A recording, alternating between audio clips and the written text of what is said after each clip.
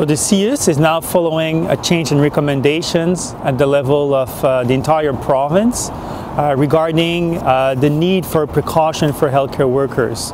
Um, we used to recommend the, the, the, use of the N95 mask or the use of airborne precaution. Uh, these recommendations were made initially uh, because uh, we didn't know about this new virus very much at the time. So we played it very safe by putting all the measures we could to, to protect the healthcare workers. However, three months into the new outbreak, a lot of research has come out now.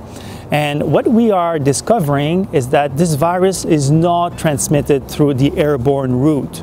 It is transmitted through droplets or contact, touching surfaces that are contaminated. So this is why we are now reviewing our recommendations that are safe for healthcare workers, but that do not require airborne precautions, simply because this virus is not transmitted through the airborne route. So airborne and droplet transmissions are, are, are, vectors through which the, a virus can be transmitted in theory uh, from one person to the other.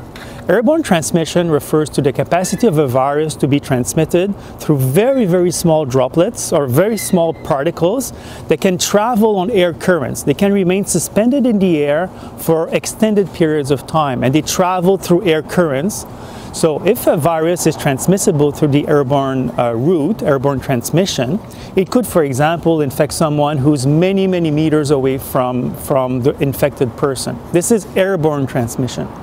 Droplet transmission is a, is a form of transmission where um, a virus can be transmitted from one person to another through bigger particles. So when someone coughs, for example, the particles that will be emitted are bigger, and because of gravity, they will tend to fall. So they, they cannot remain suspended in the air.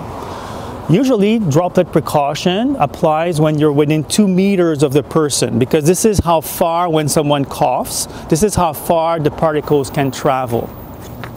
So right now the evidence shows that uh, the coronavirus, COVID, can be transmitted through droplet through droplets, so short distances, but not through the airborne route, long distance through through particles that remain suspended in the air.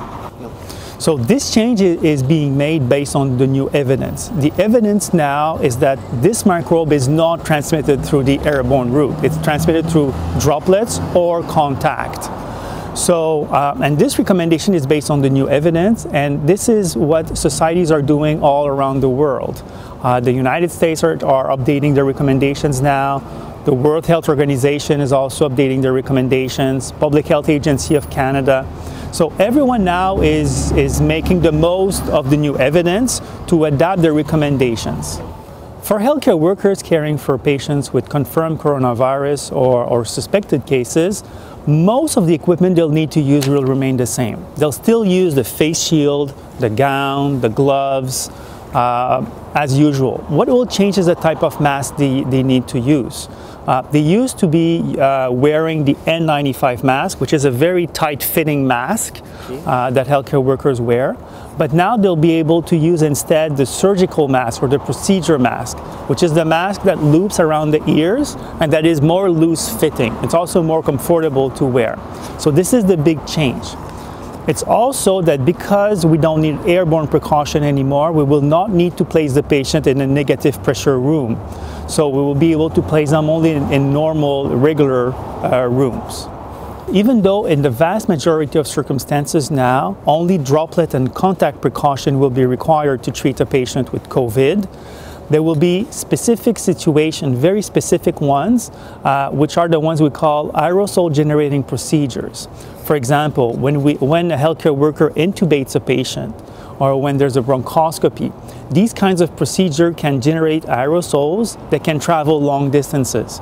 So in these very specific situations, we will still recommend the use of an N95 mask.